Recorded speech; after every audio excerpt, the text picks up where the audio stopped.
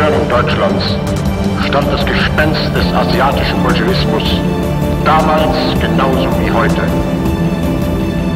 So wie jetzt im Großen, kleinen Inneren. Die bürgerliche Welt völlig unfähig, diese Entwicklung einen wirksamen Widerstand entgegenzusetzen.